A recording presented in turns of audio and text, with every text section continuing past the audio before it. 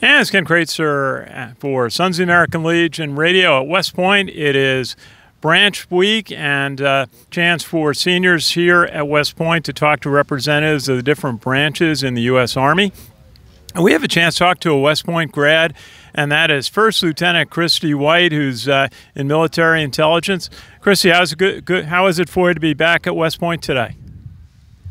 Hey, sir. Um, it's been great to be back at West Point for Branch Week. Uh, we've been here all week talking to cadets from all four classes. So it's not only for the seniors who are getting ready to put in their final branch preferences, it's also to familiarize cadets with all 17 branches um, and a few functional areas on um, what they're going to be commissioning into after graduation. Very good. Well, I remember uh, I was reading Leon Panetta's book, the former uh, Secretary of State and uh, Secretary of Defense. He was in military intelligence uh, coming out of uh, ROTC. Tell us a little bit about uh, what are some of the roles that and responsibilities in military intelligence. Yeah, absolutely, sir. So, in military intelligence, the bulk of lieutenants will serve um, in the battalion S2 shop um, as an assistant S2. So, they'll work with their captain who's going to be the battalion S2, and other all source analysts to uh, to find out where the enemy is on the map. Um, we provide that assessment as an S2 to uh, a maneuver commander so that they know where to put their firepower and they know where to place friendly troops. Um, if a lieutenant doesn't serve in an S2 position, they also have the opportunity to serve as a platoon leader and executive officer, which is um, that's been my experience serving as a platoon leader and now an executive officer. Well, I got to imagine the job and the role has changed uh, uh, from the days my dad did military intelligence after World War II and, uh, and in Korea. Um, how has it changed in this whole world of digital, cyber, everything online? Uh, how is it, what, how does what kind of uh, uh, how does that change the, the job and the role of a military intelligence officer?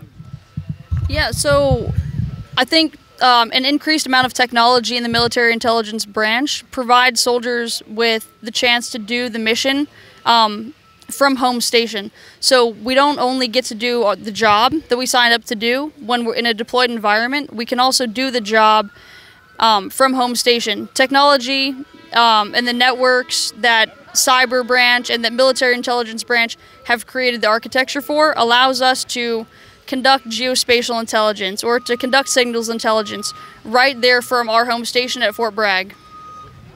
Very good. And if you would tell us a little bit about your time at West Point, what did you study? Were there any major activities that you participated in?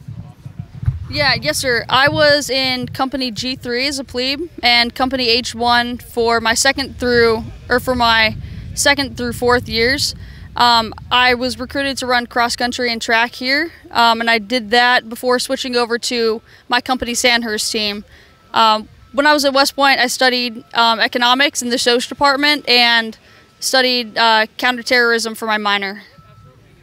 Very good. And just tell us, uh, where, where are you from? Uh, where's your hometown? Um, I'm from Herndon, Virginia. It's a suburb of Washington, D.C. Very good. And uh, just what's the best uh, reason for a, uh, a, uh, graduate of West Point, uh, one of the seniors, or even a senior in ROTC might be watching uh, to join military intelligence? Yeah. Um, the the reason why I branch military intelligence and why someone else should consider it is that you'll always get the chance to make an impact on the branch, even at the highest levels.